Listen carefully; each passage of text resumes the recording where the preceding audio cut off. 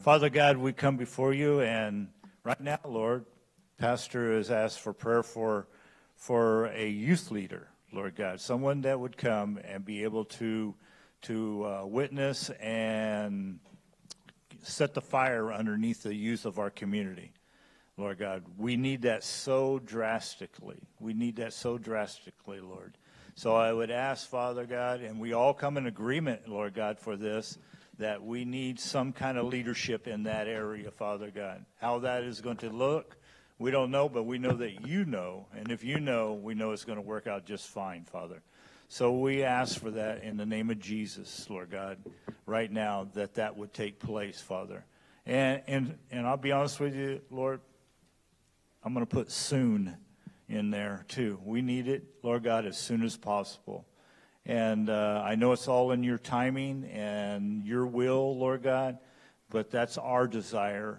That's our desire, Lord God, in our hearts for that to take place, to minister to the youth in our community. It's a desperate need right now. All of these requests, Lord God, and all these praises, Lord God, that we have, have heard today, we do in our hearts, Lord God. We praise you and we thank you, Lord God for the healing that has taken place, for restoring relationships, Lord God, that has taken place, Lord God, and for spiritual healing, Lord God, that has taken place, Father God. And Lord God, you know each and every one's needs that we have. And Father God, I would ask, the Lord God, that you would reach in and, and touch each and every one of them, Father God. Only our needs, Lord God only our needs, Father God. And let it be your will if it will glorify you, Father. That's our desire that we have. I would ask that you would touch each and every one of them, Lord God. And Lord, I just thank you for the new visitors that have come today. I would ask your hand would be upon them during this service and they would receive, Lord God, your touch today. Lord God, in the name of Jesus, I pray. And Father, help us, Lord God, as we we stand together and collectively we sing, Lord God, and we worship you. Let our heart just flow out of us, Lord God, unto you, Lord. Let you be glorified today like never before. And we give you all the praise and the glory for what you're doing in our lives and in our church, Lord God, and in individuals around us, Lord. Help us to do what we need to do to bring glory and honor and praise to you and to help others. It's in Christ's name we pray. Amen.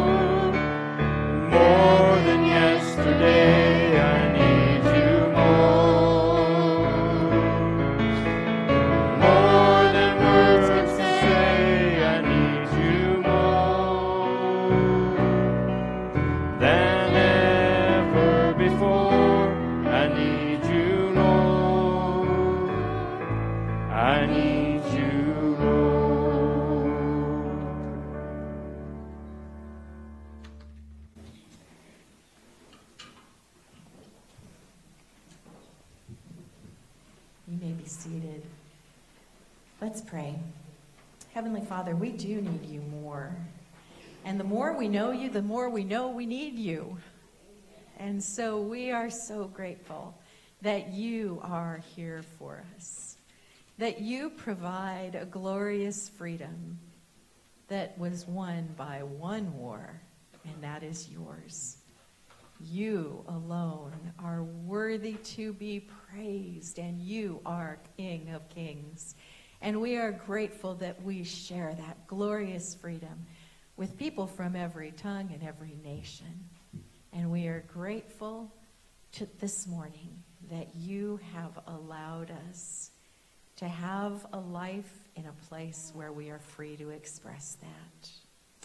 And we thank you, Jesus, that we are part of something much greater than we see around us. We are part of your kingdom. And I pray, God, this morning that you will teach us more about living as people of your kingdom, honoring your name, lifting you high in the place where you have placed us. In Jesus' name we pray. Amen. Okay, my chickadees, plus all new chickadees, please join me at the front. Now, you know when I say that, what I'm really mean is kids, right? Not goats. I mean children. And I love it that you guys know exactly where to sit and exactly what to do. How fun is that?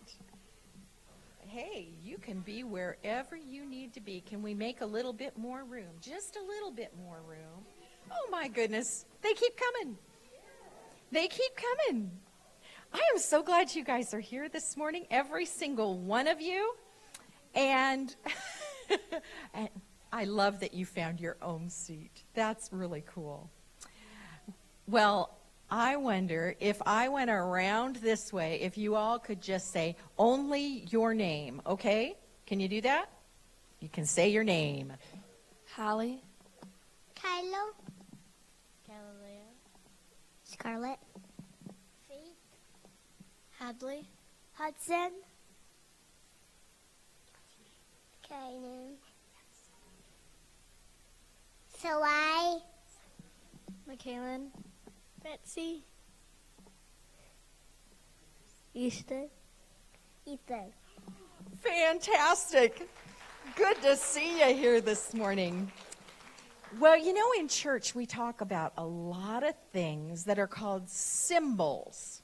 They are things that mean something more than they actually say. For example, if I pick this up out of this vase, what is this?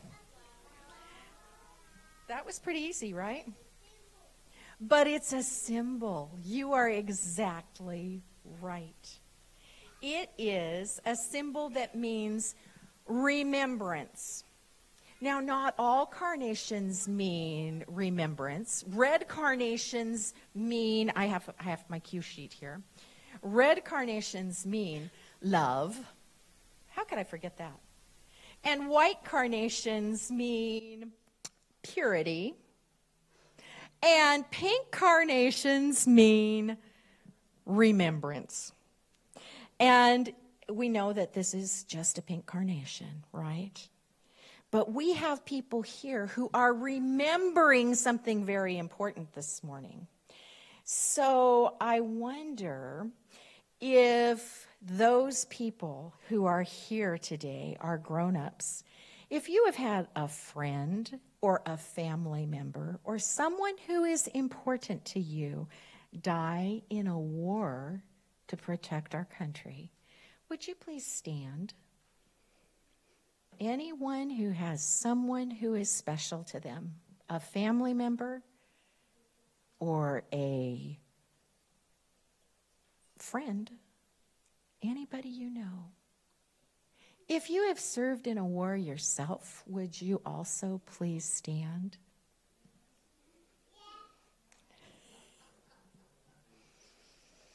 My guess is that some of you had friends who also were important to you. And this morning, we're going to do this really important thing. We're going to do one, two, three, and we're going to spend a moment absolutely silent. Are you ready? Okay, you guys do it with me. One, say it with me. Two, three,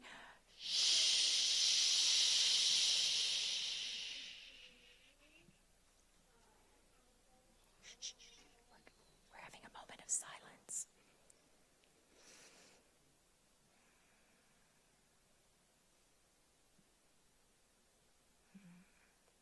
That's a beautiful thing as we remember this morning. I'm going to ask you guys to take flowers to those people who were standing, who sat down. Please stand back up. And would you guys take flowers to those people? Thank you.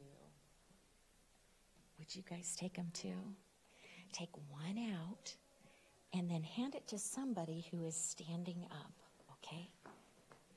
And then come back. Thank you. I'm glad you came back. Hopefully, we've got enough. Oh my goodness. Some of you might have to break your flowers if we have enough.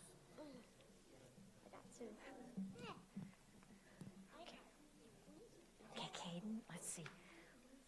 We don't have quite enough. Yeah, could you maybe break one off for somebody who didn't who didn't have one? Caden, can you take that to Grandpa? And can you take that to oh let's see. Who didn't get one yet? That'll be good. Okay,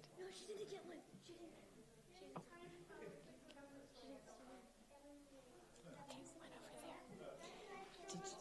there. And come back because I have something for you. Some of you may have to stand up and take two flowers, please. stand up and take two flowers, grown ups, if you um, need more. Okay. I see somebody who is standing right there. Can you give your flower to her? Yeah. Thank you. We've got one, we've got we've got somebody else who served back there. Can you take yours to Nancy? Okay, yes, anybody who has served in the military but not been in a war. All right, and for you guys, for you yourselves, oh my goodness, I hope I have enough.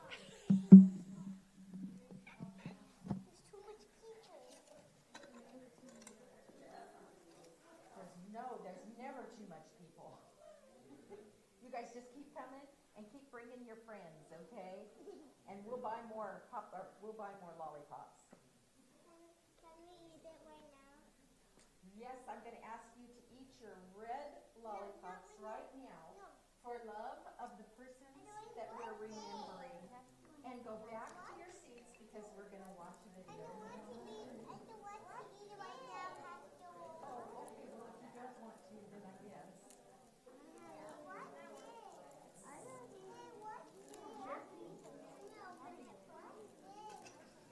You can go back to your seats and get some help from your grown-ups opening it. You didn't get one? You did get one, okay.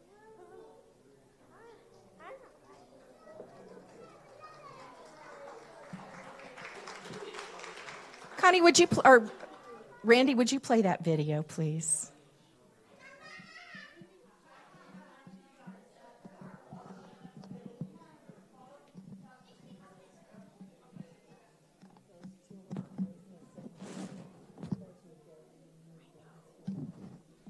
So I'm going to call out the name of two of our guests this morning because they are brand new in our church family. Easton Duggar and Ethan Duggar are grandchildren of Randy and Desi, and they are newly adopted into the family and part of our family too.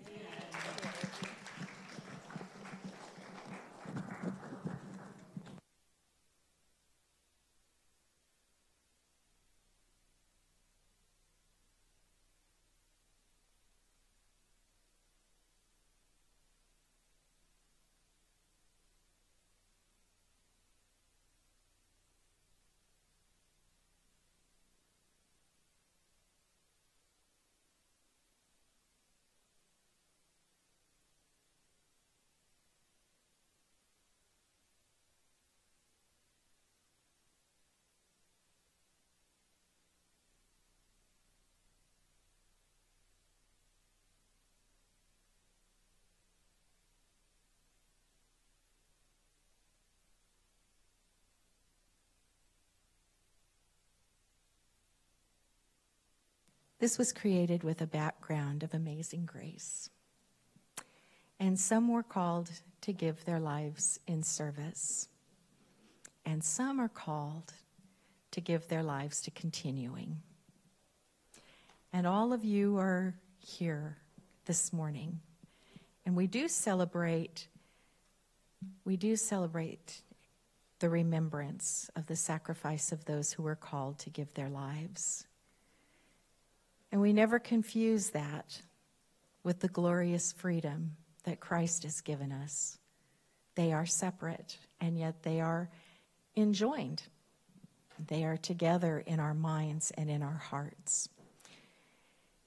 And as the Lord commanded us to remember, we do remember and we grieve. And that grief doesn't go away in a day or in an hour or in a month or in a year. And all of us are somehow touched by what was given for us so that we might practice responsible freedom. And whenever that freedom is threatened, we get fearful. but we need never have fear. God is in control. And so, as I was speaking with someone this morning about the flag and the symbolism of the flag, it's very important to me to remember that no flag truly represents the banner that the people of God fly under.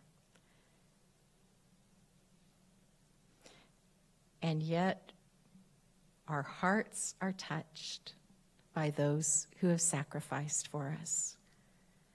And we remember that along with Jesus, greater love has no one than those who lay down their lives for a friend.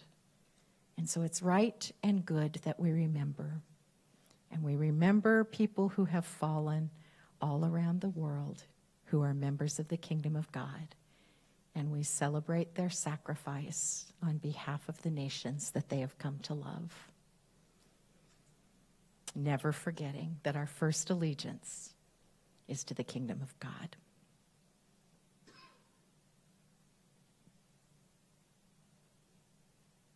Thanks to you, Lord God, who made a way for us to practice our faith, to experience emancipation across, across all personhood. For in you there is neither Jew nor Greek, male nor female, slave nor free. We are all one in Christ Jesus. And we ask that you help us to practice our patriotism responsibly. And as we give honor to those who have fallen today, we also give the supreme honor to you who are King of all kings and Lord of all lords. And as we prepare our hearts to be givers today, we are grateful for the blessings that allow us to give back. In Jesus' name we pray your blessing upon each and every person who is able to give and those who are not able to give. Help us to be faithfully representing our love for you in giving. In Jesus' name, amen.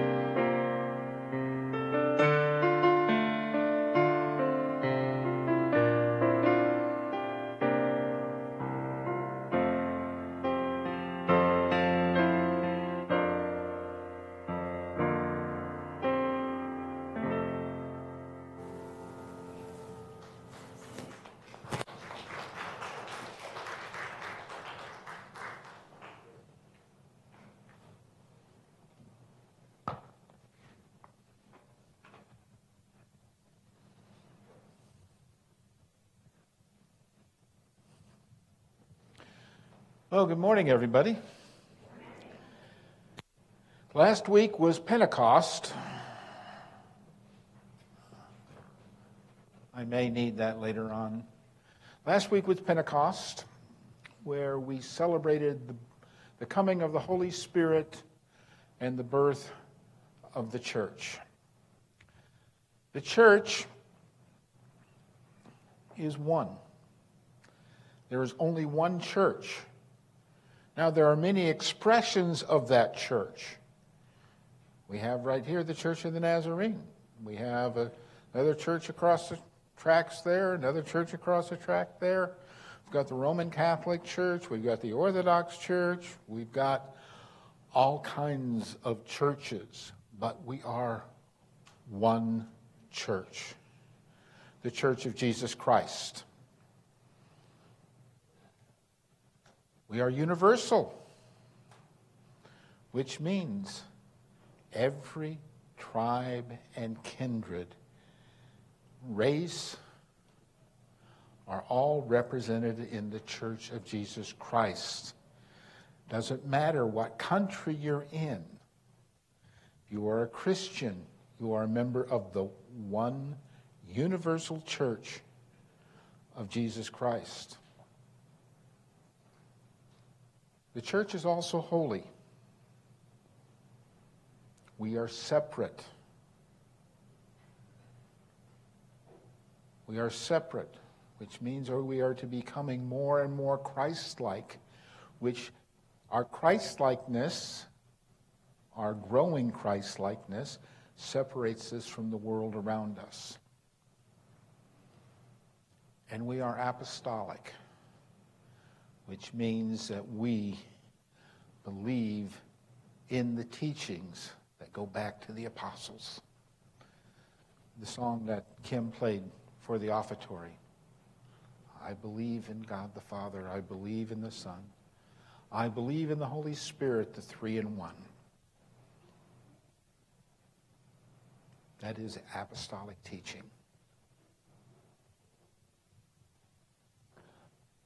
Let's uh, read our scripture for this morning, okay?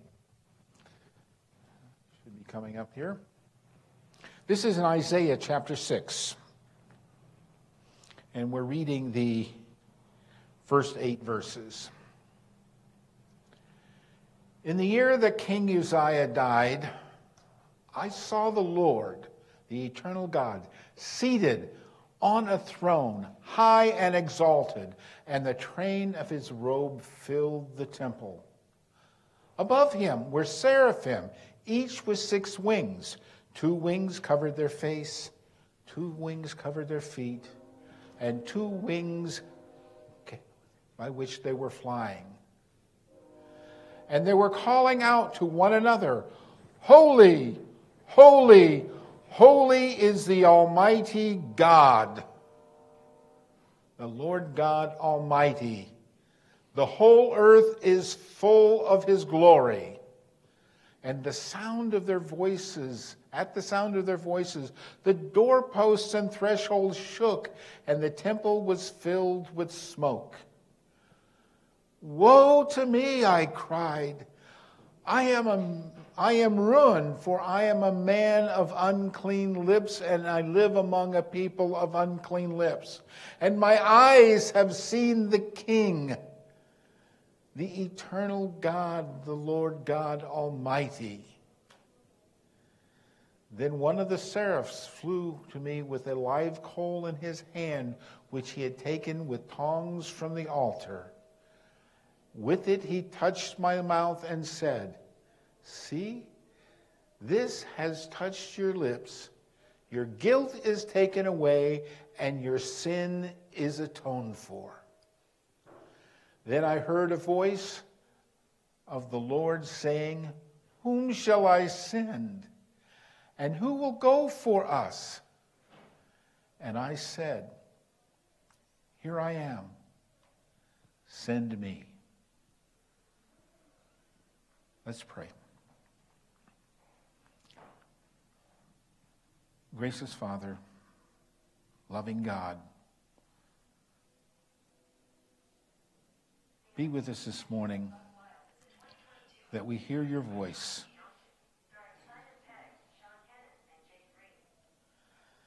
That we hear your voice. And that our hearts are open to what you're speaking to us as you show us yourself. And you let us know what you would have us do. Pray this all in Christ's name. Amen. Say, last week was Pentecost. This week for the United States is Memorial Day. And when I think of Memorial Day, one of the thing that comes to me the most, besides the Indy 500 and, you know, but is the Battle Hymn of the Republic. Great, great piece of music. Mine eyes have seen the come of the glory of the Lord. He is tramping out the vintage where the grapes of wrath are stored. That song was written in the Civil War. And after the Civil War is when Memorial Day was started to honor the dead of both the North and South. And since it has been, because we have had many wars since then, to honor all of those who have fallen for the ideals of our country.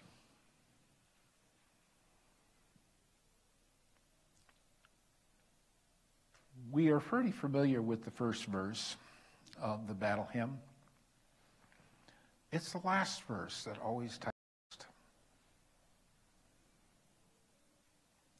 In the beauty of the lily,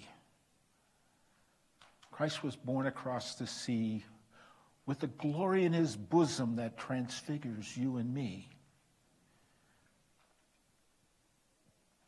As he died to make men holy, let us die to make men free while God, excuse me, while God is marching on.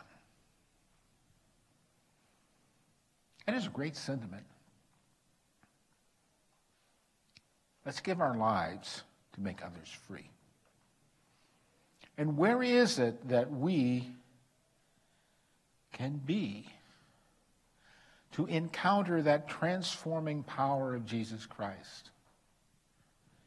Right here right here in the church.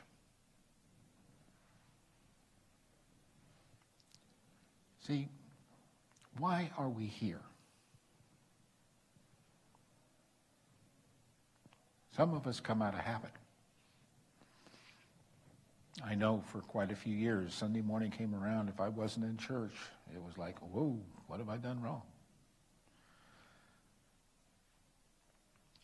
For many of us, it has been a habit, is a habit. For others, we come to church to be with friends, people we know. Somebody we haven't seen since last week. We get together and we have nice time together. We have coffee before and after the service. And we come together. Many people come together because we love the music. The worship and music is extremely powerful. But how many of us, in our hearts of hearts, come to church to meet God?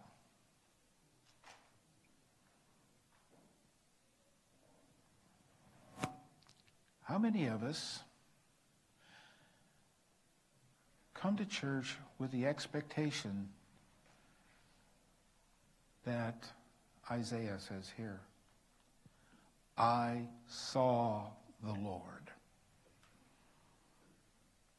It's not every day that Isaiah got a vision of the Lord like that. But if we're not expecting it, not searching for it, would we miss it?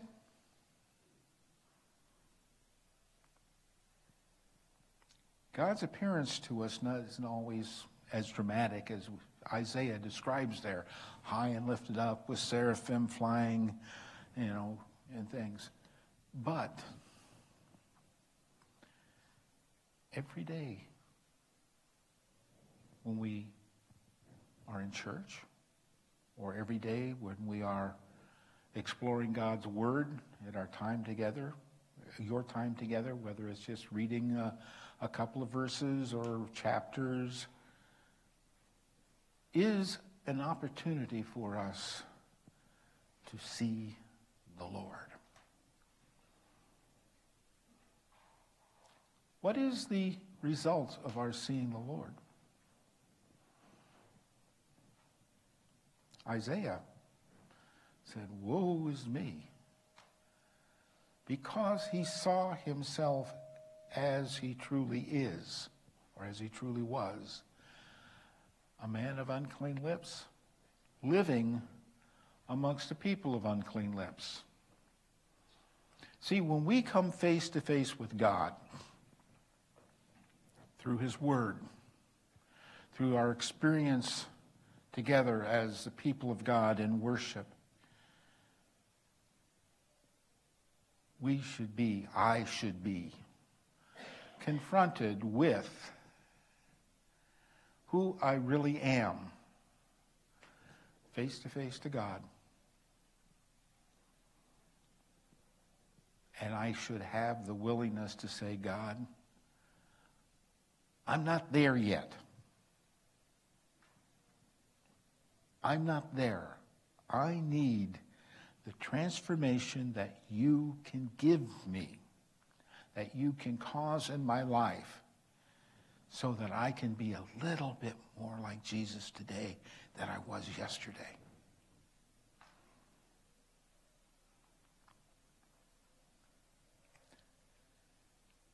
And as I am transformed through the power of the Holy Spirit working in my life,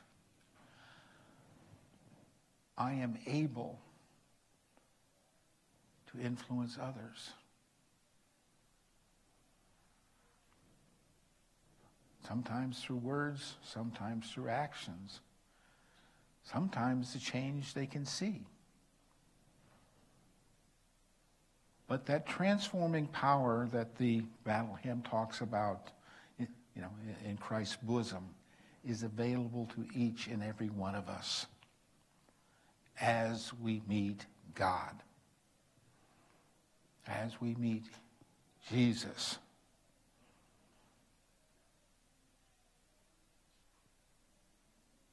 And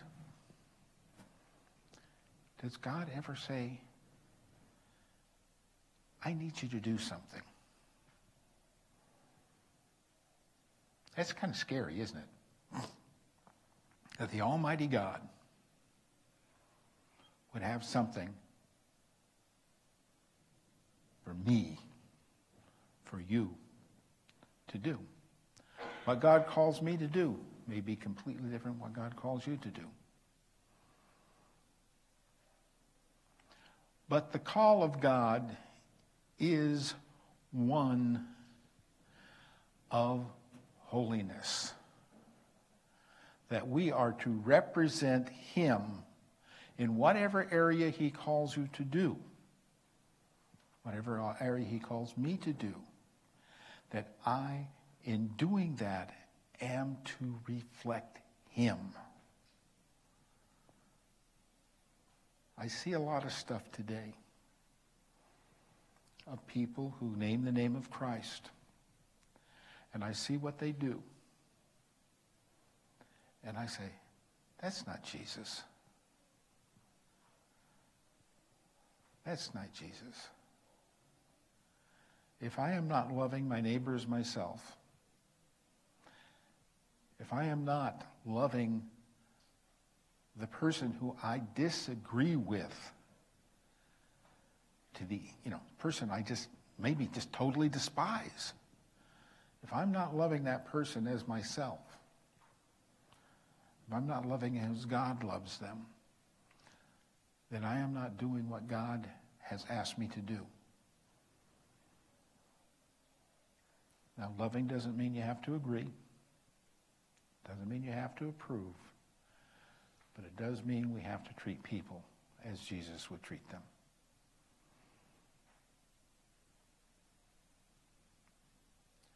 See, we, as the church, have the call to transform the world.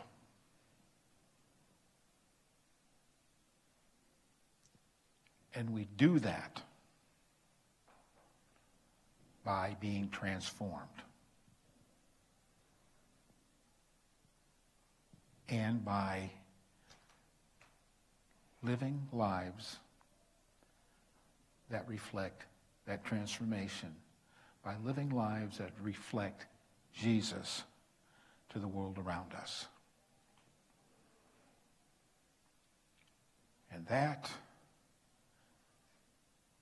is hard. that is hard because we sometimes confuse things together. But the way we help sort things out is to dig into the Word and know more and more who Jesus is. Rely on the Spirit of God to enlighten me, enlighten you about how I can live more like Jesus.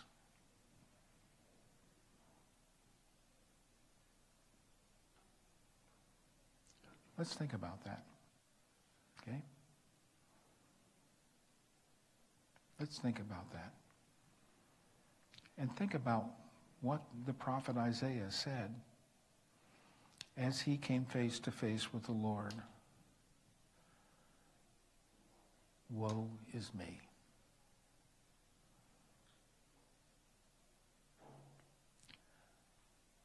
As I continue my journey as a Christian, I find that there's more and more I don't know. I've been studying the Bible for a long time. I teach theology.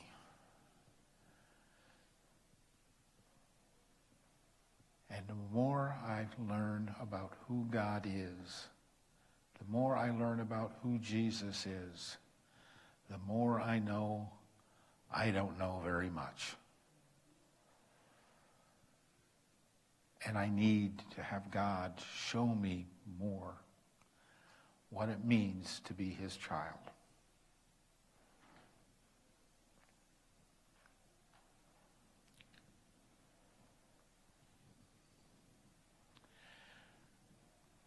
As we are contemplating what it means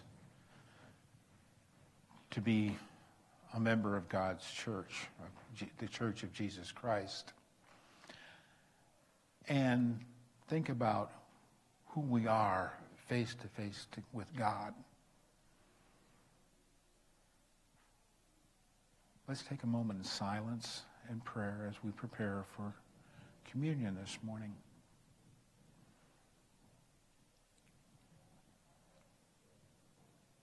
We are taught by the Apostle Paul that we should not take the Lord's Supper in vain or un- in an unworthy manner. What we need to do, what I need to do, is spend some time saying, Lord, Where do I need to be transformed today? And then, Lord, give me the power to work to bring that transformation about in my life.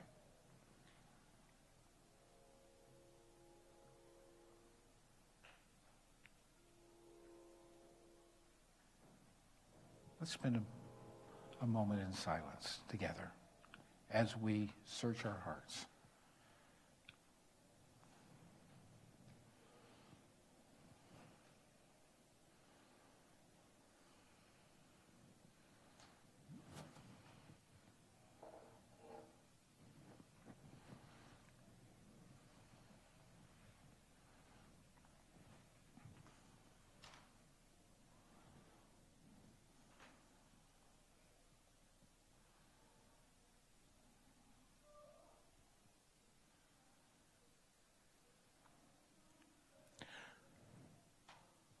Lord, thank you for your transforming power. Thank you for the witness of your Spirit in our lives, which guides us in how we are to be transformed. And as we take the elements, the bread and the cup, this morning, may each of us renew our commitment to you to be a member of your church, your one universal, holy, apostolic church. That is a transforming power in the world to show Jesus to the world. Pray this all in Christ's name. Amen. The night that Jesus was betrayed, he took bread and he broke it and gave it to his disciples, saying, This is my body which is broken for you. Take, eat every one of you, and do this in remembrance of me. In the same manner, after cup, after supper, he took the cup, and having given thanks, he said, This cup is a new covenant my blood, which is shed for you. Take, drink, all of you. For as often as you take this bread, eat this bread, and take this cup, you remember the Lord's death for you. The death that makes us holy, that saves us. As you are led, come down the center aisle, take the bread and the cup, and return to your seats.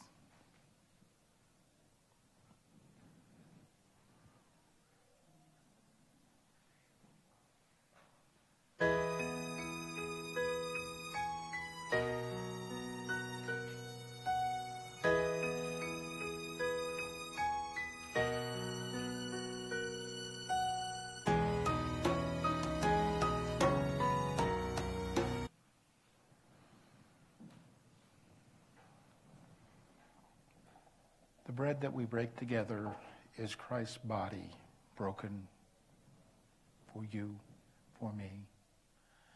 And the cup of blessing that we share together is the blood of the new covenant that makes it so that we can have the right to go directly before God. Let's eat together.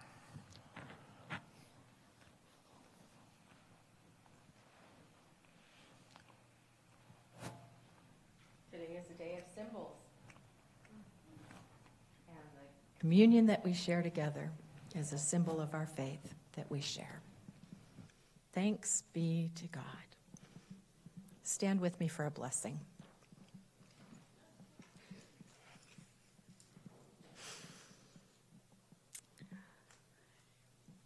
Today, may you be blessed with remembrance and blessed with an understanding of how God is working in your life. And blessed with the opportunity to share your faith with others. Go in peace to love and serve the Lord today. Thanks be to God. Amen.